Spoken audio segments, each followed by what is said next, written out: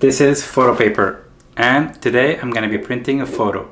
So what I thought today, I thought I'd print a black and white photo which is like a one I shot from Lebanon. I really, really, really like it. And I'm going to print it on this velvet, velvet fine art paper from Epson. And for those of you that don't know, my printer is an Epson Pro 900. And when printing on this kind of paper, because it's kind of thicker, I don't know if you can see it, it's kind of important to set, use the manual feed rather than the back feed they usually use because it, it is thicker and they recommend using it this way. So that's kind of important. The second thing to remember on your printer to set up before going to Lightroom is to select on the printer which paper you're using inside the printer settings. The rest you do it through Lightroom and I'm gonna use a Lightroom print module which is really really easy by the way it's really not really hard to get so I'm gonna go step by step with this is considering you entered the, you you you edited your image it's ready to print. I'm gonna go step by step how to get the settings through lightroom to make sure your print and your printer talk together really well and the print comes out really really nice. Let's go. Okay so now i'm recording my screen. So first thing i do is i've loaded some of the settings already. Now i have the image here. Now assuming that you already have the image that you like, you already did all your edits, you're ready to print. I mean, the editing is really up to you. It's what kind of style you have. First thing, like sometimes you have your settings saved from before. So I usually go to page setup and I make sure my printer is selected. I select the paper that I selected Super A3 uh, 13 by 19 sheet and it's set to be like horizontal or vertical or horizontal. I'm gonna keep it on vertical. I'm gonna click OK. I'm gonna go to print settings here. That's another thing to check. And I'm gonna also make sure my printer is selected. And I'm gonna go down to printer settings. And here I'm gonna select manual feed like I selected. Make sure that's always set. I'm gonna select a velvet fine art paper. I'm gonna select matte black because it's I think it's like a matte paper. So I'm gonna select Super Photo 2880 dpi and I'm gonna keep the 16-bit output selected you know because it's a 16-bit file so I just wanna I can print in that.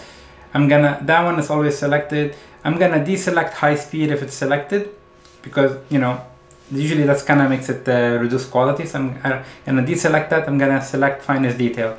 And I'm gonna make sure color management is off here in the basic advanced color settings. Usually it's off because I selected the media of the, in the in Lightroom I selected the media of the what kind of paper and I'm gonna match it on the printer in your printer you have a section where you tell the printer what paper it is. So you have to make sure that the two match. So that's it. I'm gonna click save. Now I'm gonna go to the right here. It says rotate to fit. That's fine. I'm, I'm looking at the image in my window. And you can set your margin if you want to offset it. Usually I keep these the same. Here you have the cell size where you can just play with the image size. So you don't have to set your image size, you just kind of slide these around.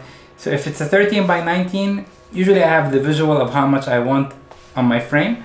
So when I'm satisfied with the visual, I can move these around and just, you know, pick something that I like.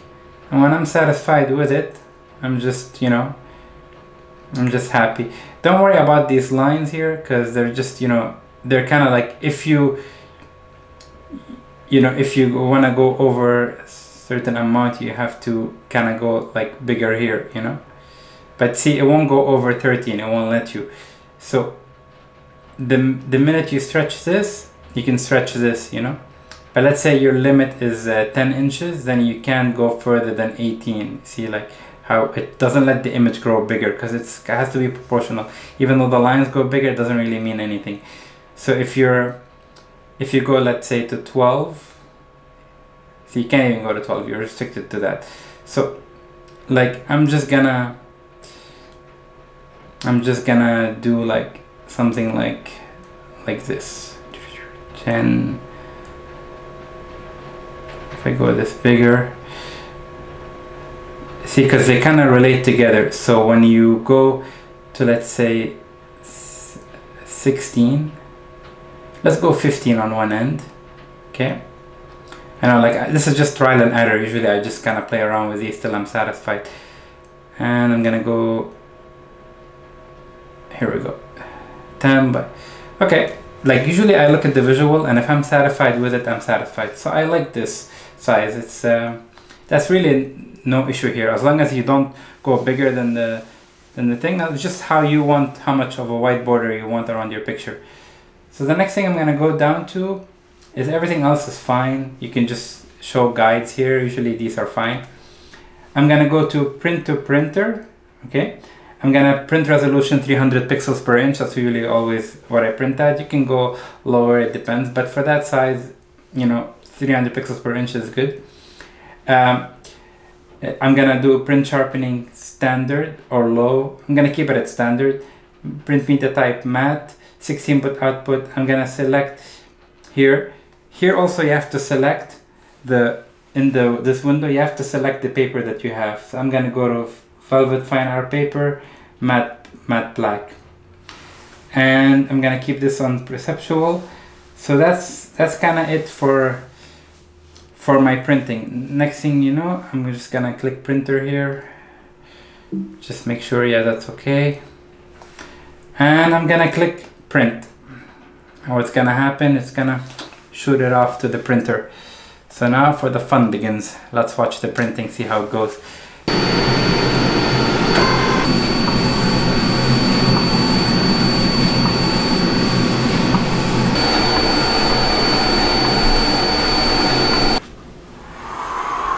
Here we go. Nice print. Look at that. So beautiful. Just gonna come up close and back up. That's amazing. Okay, two things though that I made a mistake. I just wanted to share with you guys. When I was setting, when I was, there's like um, one section in Lightroom where you can add your borders. So my borders are not even, if you can see, I got here, it's bigger than here. And for that, because one of them was at 0.56 and the other one was at 0.13. So I missed that detail. So make sure that your white borders are even number at the left, at the bottom and the top and the left and right. So if you're positioned like this, top and bottom, left and right, well, depending which size, because I get confused. Also, one more thing I learned the hard way is because I don't print that much. So sometimes when you print, don't print that much, this nice print will look like this. And why is that? There's colors missing and it's blue instead of black and white.